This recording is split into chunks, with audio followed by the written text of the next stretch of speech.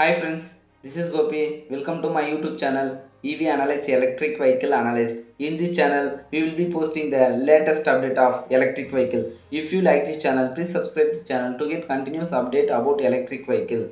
Today we are going to talk about Kymco F9 electric scooter. Its Taiwanese two-wheeler company Kymco has unveiled first electric motorcycle on 2020 uh, November.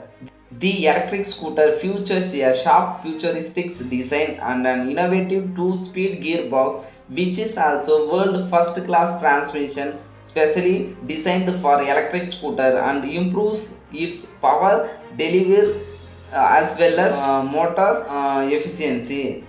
Let's talk about design and specification. The Kymco F9 comes with sporty design language, twin split LED headlamp on the front, LED turn signal lamps, a small fly screen, LED stop lamp, full color, TFT instrumental panel and the Kymco F9 is made with 14 inches alloy wheel.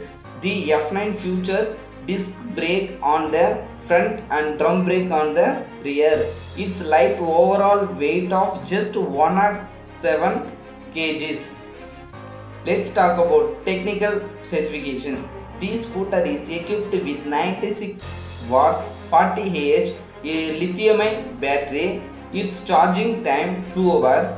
The battery also features fast charging capabilities. The Kymco F9 is powered by 9.4k watts motor. Let's talk about speed and range. The range of scooter is 120 km on single charge.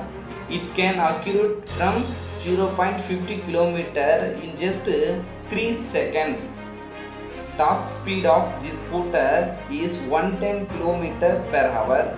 While Kymco will launch the F9 in several international markets in arrival in India look uncertain. The company had tied up with the Indian brand 22 Motor in 2018. What do you think of Kymco F9 electric scooter? Please drop a comment below. Thanks for watching this video. If you like this channel, please subscribe this channel to get continuous update about electric vehicle.